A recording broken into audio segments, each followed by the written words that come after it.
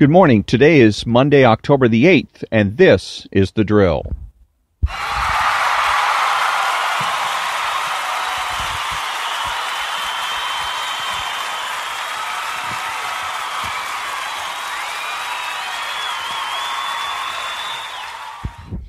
And thank you very much. This is uh, Ron, your host, the only true conservative in the United States of America, because I'm the only one that makes the presumption for the status quo. So, uh, Judge, uh, well, now Justice Kavanaugh. So he uh, got uh, Judge Kavanaugh got confirmed over the weekend on Saturday, uh, sometime in the morning, and and um, so I'm sure there's a lot of Republicans and Republican politicians that are saying, "Well, all's well that ends well." And not true. Uh, there's some uh, some takeaways from this episode uh, that are important. Uh, the the whole situation in terms of being dragged out and being there being um, smears of uh, Judge Kavanaugh are the Republicans' fault. The Republicans in the Senate. It is their fault that this occurred. Uh, the number one rule of power is to exercise the power you already have. The, the weakest thing you can do and worst thing you can do is refuse to exercise power you already have. My uh, grandmother had a uh, a family member that was living in the house with her for uh, decades, and this family member was abusive uh, to her. But my and my grandmother owned the house, owned the property. Could have had this individual evicted, could have had this individual prosecuted, and refused to do so until finally one day uh, she did get to the point where she just got sick and tired of it and uh, you know said that's uh, that's uh, and finally put her foot down. But for decades she refused to use. We we tell her we said why don't you you know evict this person and um, so uh, she wouldn't do it. And so uh, you're there's she used to also have a saying uh, about people getting what they deserve, and um, you know she got what she deserved. My grandmother did eh, because she refused to exercise the power she already had. So so does the uh, Republicans, uh, Senator Grassley, Senator McConnell, uh, because they refused to exercise the power they had. They're in the majority. The Republicans are in the majority, whether uh, Dianne Feinstein or Chuck Schumer likes it or not. Okay, it doesn't matter whether they like it. Okay, um, the the people have put uh, the Republicans in charge of the Senate. That's it. So use your power. Number one. Number two is uh, res- uh, no respect for reality from the Republicans, and let's be clear on this that the Republicans are the party of reality.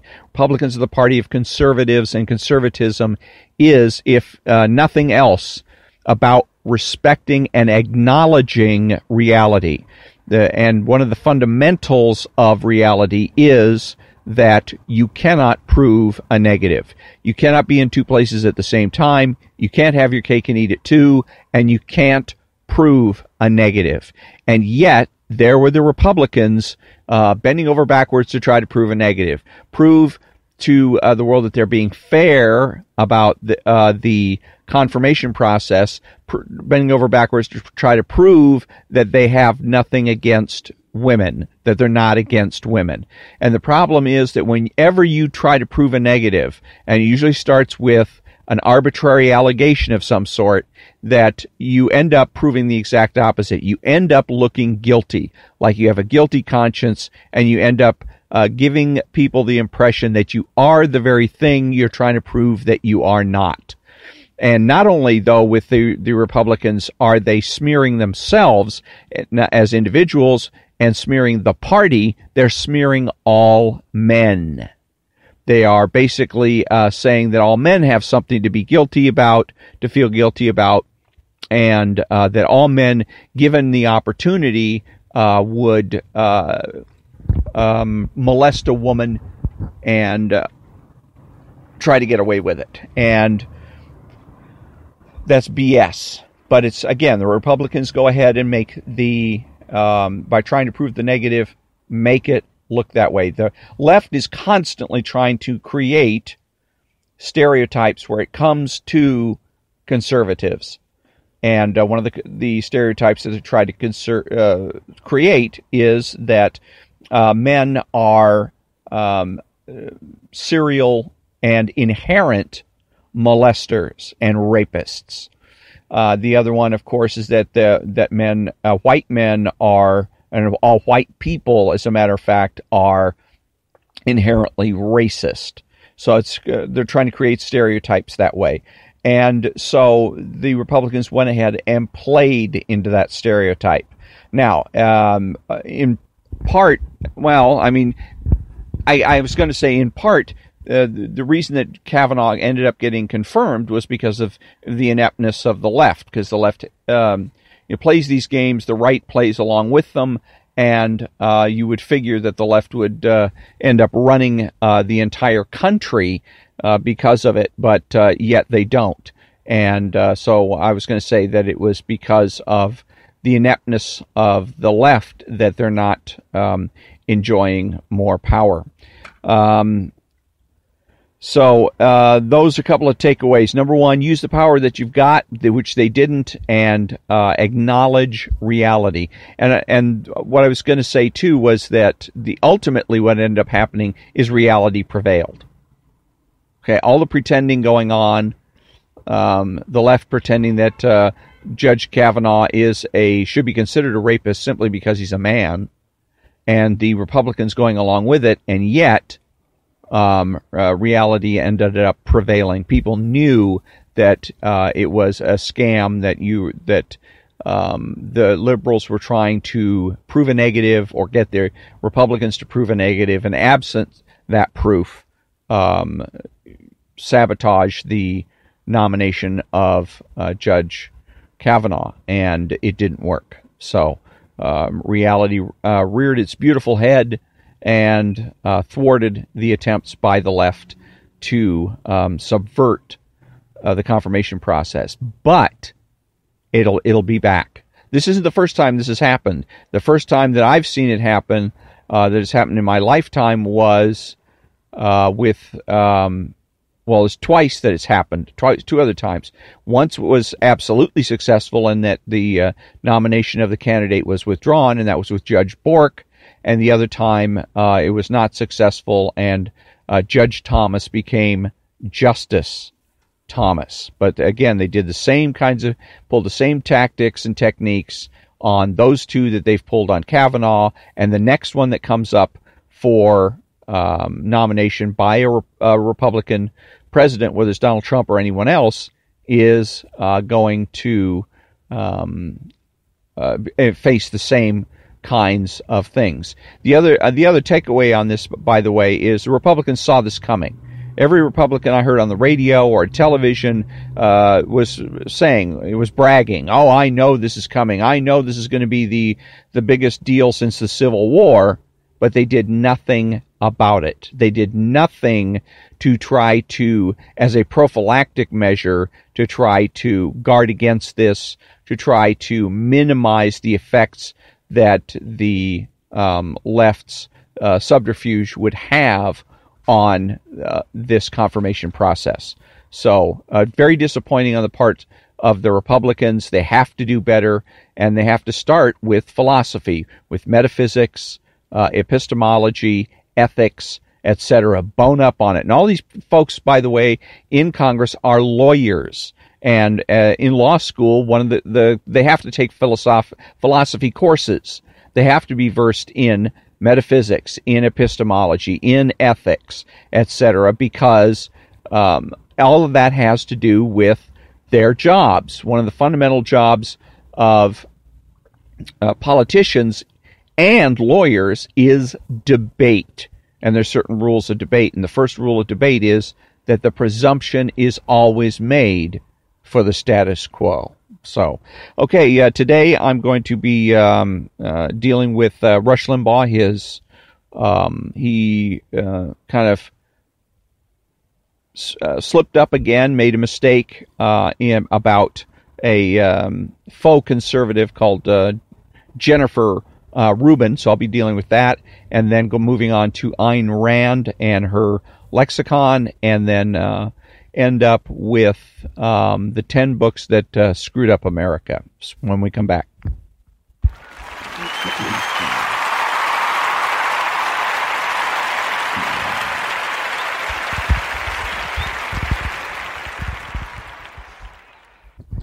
Thank you very much. Welcome back. And I can always count on the ersatz uh, conservatives to be um, good negative examples.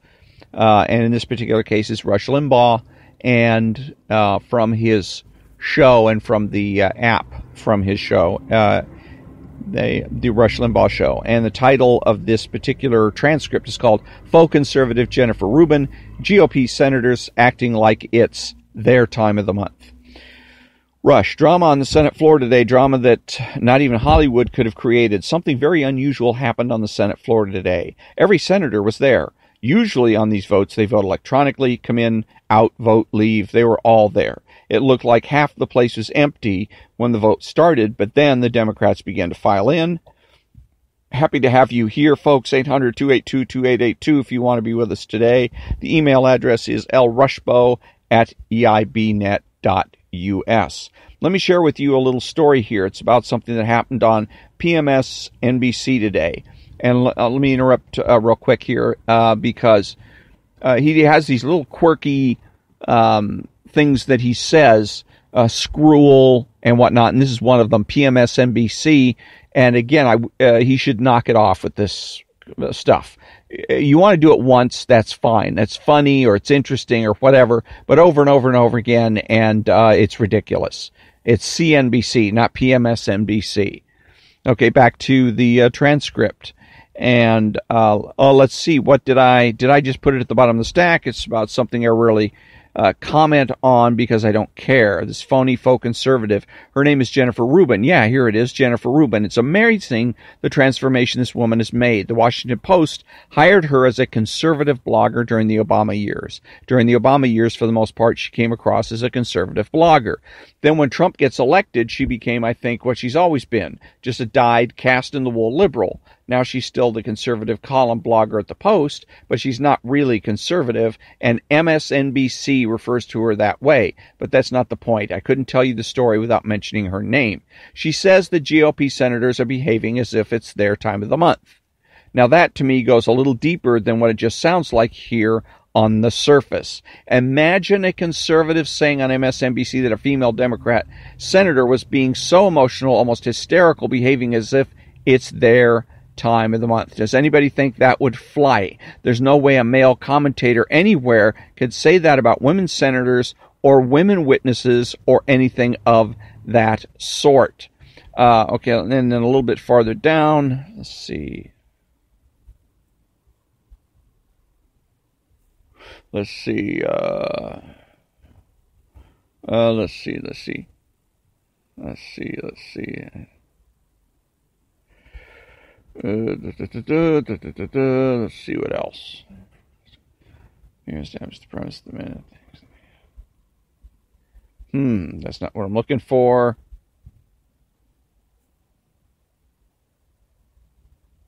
That there is such a phenomenon that occurs to woman, and then she, nope, that's not it. Let's see.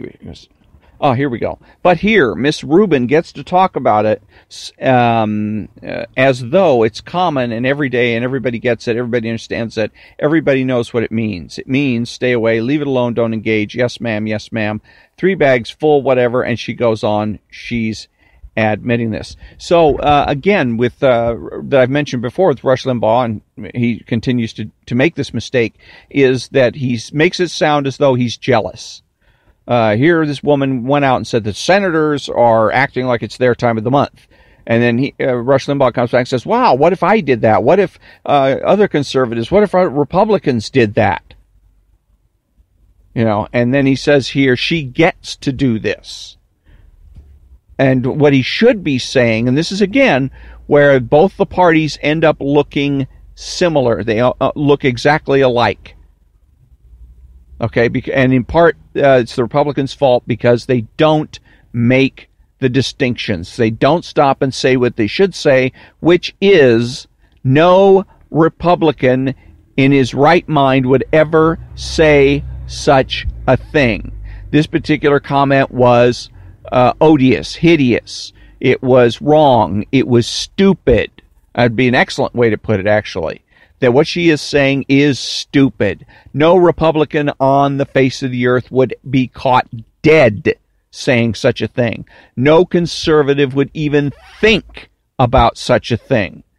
Only the Democrats, only the socialists come up with this kind of crap. Okay.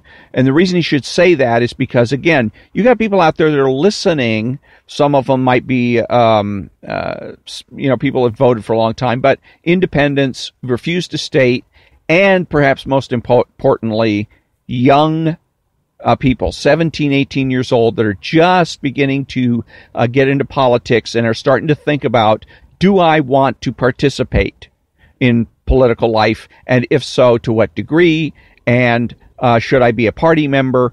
I, I brought this up um, a few days ago about here in California. There's a surge in voter registration.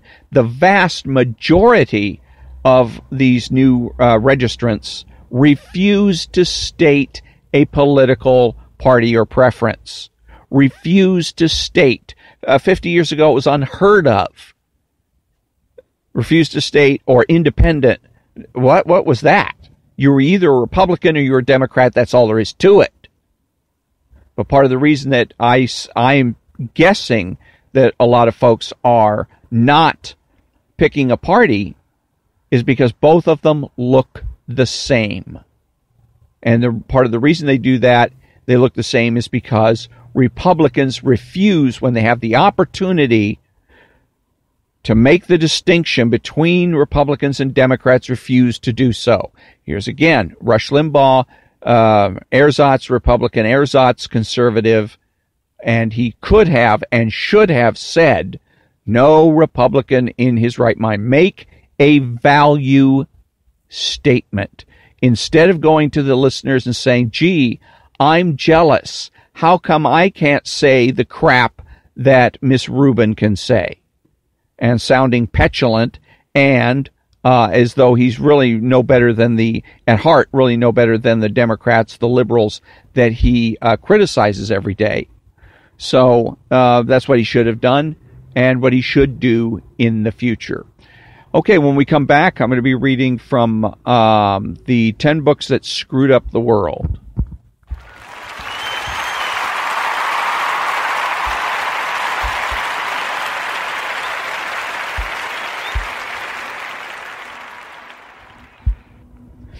Well, welcome back, welcome back. Thank you. And uh, actually, not the 10 books that screwed up the world. I'm going to be reading from uh, the Playboy interview of Bill O'Reilly. I haven't read this one for a while, but I was looking at it and it's got uh, some interesting stuff in there I want to comment on. Playboy, among your environmental views, you've taken special glee in attacking. Okay, let's go back it up for a second. Um, in the interview, they were going over basically his bio, how he got into the business, uh, where he worked first, and second, how he ended up at, at Fox. Now they're starting to get into his political views. Um, let me see. Uh, Playboy, how important was the network's Fox uh, conservative slant? O'Reilly, not at all. As I've said, my most loyal viewers are all over the place, and so are my views. Playboy, let's look at some. You have said the federal government has to be tougher when it comes to the environment. With that position, you depart from most conservatives. O'Reilly, that's right. There should be a strong EPA. I would make it much stronger. I would levy fines more dramatically on polluters. I would demand that Detroit make cars that get 40 miles to the gallon. Playboy, among your environmental views, you've taken special glee in attacking sports utility vehicles and have said that women who drive SUVs are specially crazed. Especially crazed. Why? O'Reilly, power. They get behind that wheel and watch out. I pull over when I see them, especially if they're little women with big hair. I'm off the road. The point about SUVs is that they are a symptom of our selfish society, but we need to conserve. Um, let me see. Uh, now they're going to about to go on to something else, but I want to take this and say the, he's got an idea that is part of pragmatism. Pragmatism says that uh, why should you have to be held to one particular political uh, or philosophical or any type of ideological viewpoint? Why not? Why is it that you can't just simply switch your political views whenever it's convenient for you and whenever you think it's going to make you uh, uh, sound good, whenever you think it's going to give you the most power? And it's crap. You can't do it because it's a matter of identity. You can't be all things to all people at all times. You, you are who you are. If you're conservative, that means that uh, you make the presumption for the status quo, period. Uh, if you uh, are capitalistic in nature, then you're going to make the uh, presumption for um, you're going to uh, you're going to support property rights, and uh, capitalism and conservatism basically go hand in hand. But anyhow, is well, let's put it this way: I'm, I'm kind of over getting a little bit ahead of myself Conservatism is not uh, generally defined the way I define it, which is a person that makes the presumption for the status quo and changes uh, when uh, ch- only when change is absolutely necessary. Uh, that it's basically that the idea of conservatism is that conservatism is an idealistic movement, that it is in, as much in search of an ideal society as is socialism, uh, but that conservatives just simply have a different idea of what's ideal uh, as uh, compared to uh, the socialists, compared to the liberals, compared to the left in this country. So, uh, and they furthermore, they, it depends on where you stand on issues such as the environment as to where, whether or not you're conservative or liberal. So the liberals take the position of being pro EPA, uh, that and they do so because for two reasons. Number one is skepticism, and number two uh, is the um, is being anti-property. Okay, environmentalism is based on the idea that first of all that nothing can be known with certainty, and secondly on the idea that everything belongs to everybody. They started with the air. They say, well, you know, our the air we breathe okay, as though the air belongs to everyone in common. Uh, the ground, uh, you know, that uh, pollution of the earth, pollution of the waters, et cetera, et cetera, as though all of those things are held in common. They are not, uh, unless they happen to be public property. It, but it basically still goes down to public and private property. If a river runs through my property, that part of the river belongs to me as my property. Um, uh, I can't. I don't know that I can dam it up, but I can use it as I pretty much as I, as I see fit. Uh, the air and the mineral rights is the other direction. Actually, I was trying to go here. You buy a house, and generally speaking, unless uh, you get rooked, you own the mineral rights, which means that I own the rights uh, not just at the surface where the house is uh, placed, I own the the property that goes all the way down to the center of the earth. Okay, that meaning, and the, the reason that's important, if you don't own the mineral rights, somebody else owns them. They can sell them, say, to an oil company, and you could have a house, and then one day, an oil company decides to set up an an oil derrick in your backyard and start drilling for oil because they own the mineral rights. You own the house, but since they own the mineral rights, they get to set up an oil derrick and drill for oil uh, on your property. So that's why it's it's important that you own the mineral rights to uh, uh, to your property. And again, that means all the way down to the center of the earth. Okay, now you also own, which is not discussed very often, the airspace. Okay, you you own what you what you own is three dimensional. Let's put it that way. So you own the house, you own the, the property, the land that the house sits on, but you also own uh, the property, uh, the, the land that the house sits on all the way down to the center of the earth, and you own the airspace infinity, all the way into space and beyond. Okay? So, uh, technically, what that means is uh, if an airplane goes through your airspace, you could uh, you could um, decide that the airlines are going to have to pay to drive uh, to fly through your airspace. It doesn't happen, but um, the reality is that's the way it works. That you own the airspace above the house. So this idea that we all own the air in common is BS. We don't. In, in public property, if you're at a park, a city park or something, yes.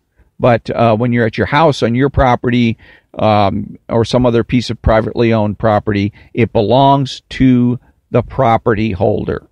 And that's what's wrong with the EPA.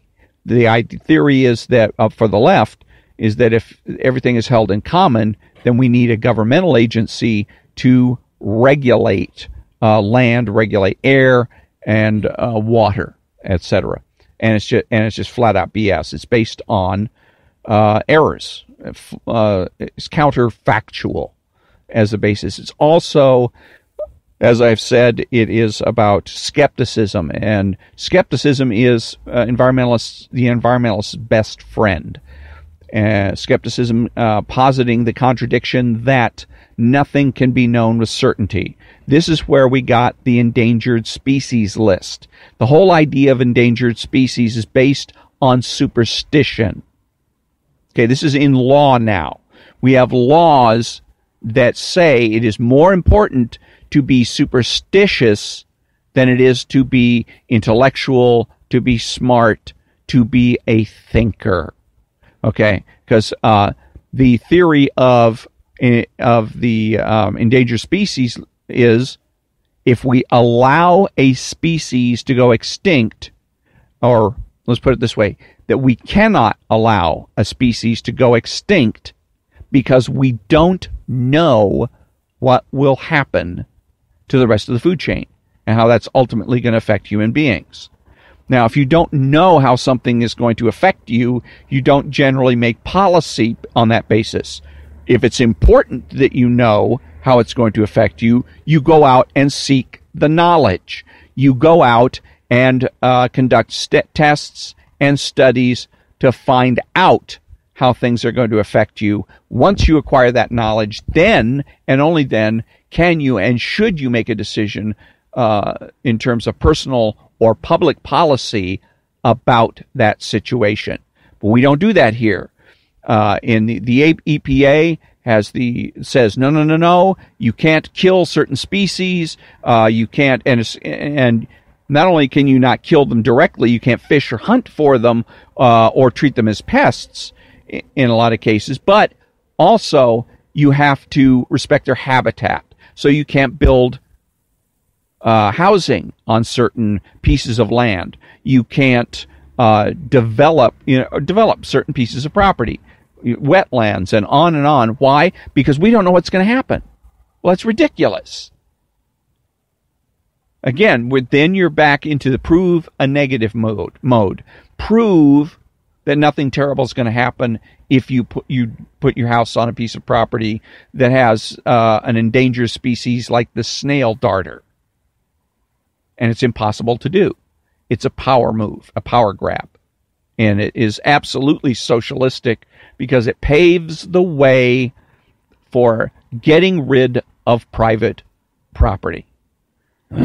so, uh, when um, Mr. O'Reilly comes out and says, Oh, yes, I'm pro EPA, he's declaring himself to be a socialist. But on the other hand, he claims to be a conservative and promotes conservative issues, abortion, etc. These kinds of people, by the way, a lot of others uh, folks want to call them moderates. Somebody might call Bill O'Reilly a moderate. Why? Because he's uh, left on the environment, but he's on the right on every other issue. No, that's wrong. There's something that Aristotle identified 2,000 years ago. It's called the law of the excluded middle with regards to identification. Okay, he came up with what is A is A, which is the law of identity. What is A cannot be non A, which is the law of non contradiction. And the third law that applies here um, everything is either A or non A. That's called the law of the excluded middle. So you're going to hear a lot of people in the left say, what about the middle ground? What about, we got to find middle ground. No, we don't because there is no such thing. It doesn't exist. Okay. And there's no moderate either politically. Now, Bill Riley, you say, well, here's Bill Riley. He claims to be left over here, but right on these other issues. What is he? confused. Absolutely 100% confused. And again, he has succumbed to pragmatism. And the pragmatics are the ones that says, hey, why not just pick and choose? Be eclectic about your philosophical and political beliefs. A little bit of socialism, maybe a little bit of Nazism, maybe uh, a little bit of conservatism, and just kind of put it together and have your own personal blend. No, sorry, it doesn't work that way. it's not only it's and it's bad because it ruins your reputation. Bill O'Reilly has less influence with people, particularly conservatives, well anybody. Because nobody on the left is going to trust him. Okay, so he moves a little bit left on the environment, but they're not going to trust him, they're not going to listen to him and pay attention to what it is that he has to say. People on the right aren't going to pay very much attention to what he has to say either. He's going to be treated strictly as an entertainer, a clown. Okay, that's basically it. Because let's assume, for the sake of argument, that the meaning of life is influence, is being able to influence other people's decisions. The way you're going to be able to do that, to influence as many people as possible, is through credibility. Okay, you have to have maximum amount of credibility for maximum amount of influence. In order to have maximum credibility, you must have maximum amount of integrity. And integrity is basically consistency. Okay? The more you contradict yourself, the more the the less integrity you're displaying, the less credibility you have, the less people are likely to listen to you. Even small things like Rush Limbaugh's in the habit of opening his show with a rock and roll tune. I, I don't know the name of it, but it's by the Pretenders. The lead singer of the Pretenders is a woman who hates the United States. That's right. She hates the United States. Uh, she routinely, if she goes into a studio somewhere and there's a, an American flag hanging somewhere, she demands that it be taken down. That kind of thing. And yet, he is putting one of her tunes as a uh, as the um, theme song for his show, and he routinely plays rock and roll as bumper music, even though rock and roll is uh, countercultural. So is jazz and blues, for that matter. Sean Hannity's better at it because he plays uh, country music uh, for his uh, lead in, and a lot of his bumper uh, music is uh, is country. But again, that comes back to pragmatism, where Rush Limbaugh gets to say, "Well, why not? Why can't I go in, um, you know, and, and be eclectic about it? Pick a little of this, a little of that." Or Rush might be saying, well, hey, this is a delicious irony and an extra way to stick my thumb in the eyes of the socialists. They want to claim rock and roll as their own. I'm going to go ahead and take rock, put it in as my theme song, and say, yeah, yeah, yeah, there's nothing you can do about it. And I guess attempt to hijack rock and roll and make it a, a conservative uh, form of entertainment, although it's not going to happen. All it ends up doing is hurting Rush's credibility. A little bit, but again, you, a little bit here, a little bit there, and uh, pretty soon uh, nobody's really paying attention to you. They're tuning into your broadcast uh, merely uh, to laugh at you. Again, you end up making a clown out of yourself. Okay, when we come back, uh, Ayn Rand and the Ayn Rand lexicon.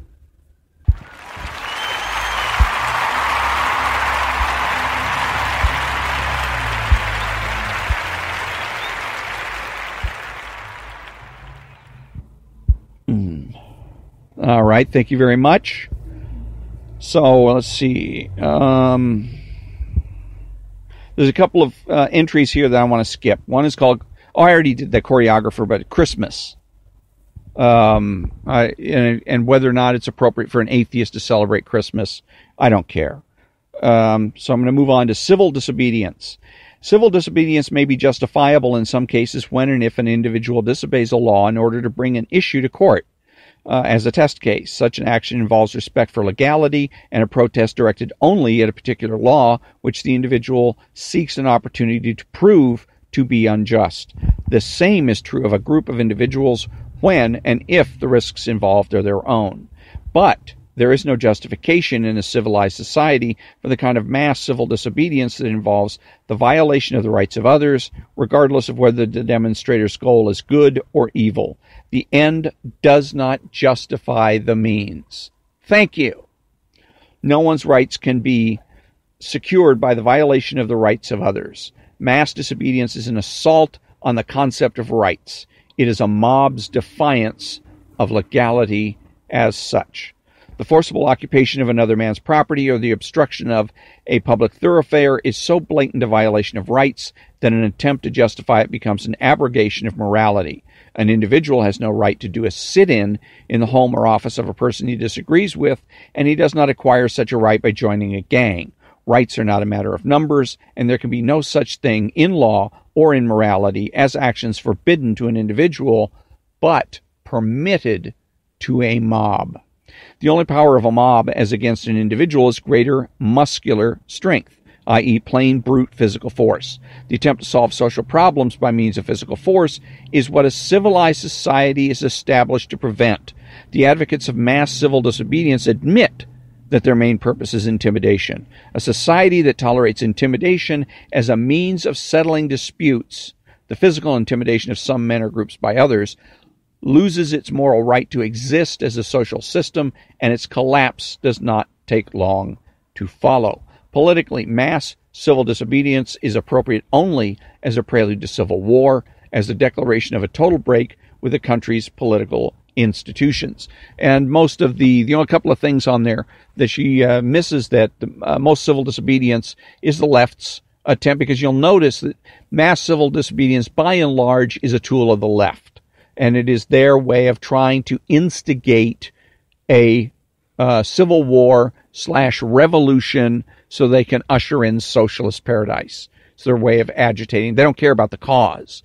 Find any cause, doesn't matter what it is, as an, and use it as an excuse to go ahead and do uh, mass disobedience. Uh, and then the other thing where I would um, falter here about losing it, the society's moral right to exist as a social system and its collapse does not take long to follow. Another prediction, and predictions by and large are bad ideas because you're merely you're substituting uh, basically a gambling when you're making a prediction, um, especially about um, metaphysical realities, but in a lot of cases about man-made realities as well or I mean, especially about man made realities. Metaphysical realities are a little bit more predictable the motion of the sun and the stars and all that kind of thing. So, uh, what she should have done was say, um, it loses its moral right to exist as a social system, and its collapse should not take long to follow. Because again, predictions are often used as an anti concept as a way of obliterating obliterating a concept or idea. In this particular case, of trying to obliterate value statements. So uh, the way to counter that is make as many value statements as you possibly can. So, um, and uh, anyways, uh, let me see. Hold on a second. No, I'm going to go ahead and wait until uh, next time for the uh, 10 books that screwed up the world. So, on that note, uh, we conclude another episode of The Drill. I thank you very much for listening, and until next time, have a great day.